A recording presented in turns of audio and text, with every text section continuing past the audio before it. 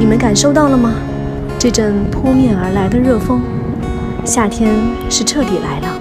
夏天好热，但总有些美食是属于夏天的：冰镇的西瓜、可口的荔枝和香滑的雪糕，还有今天给你们分享的这份酸酸甜甜的杏子酱。盐巴可以洗去杏子表皮的脏东西，但如果你追求细腻的口感，那就狠心的削掉果皮吧。接着再去掉果核。白砂糖是杏子酱的关键调味品。我们在盆底撒上一层白砂糖，然后铺上一层杏子果肉，一层白砂糖，一层果肉，交替叠加，两者能融合得更均匀。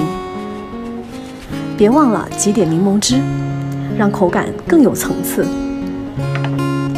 接下来，我们把密封好的果肉送进冰箱，静静的等待。两个小时后开始熬煮果肉。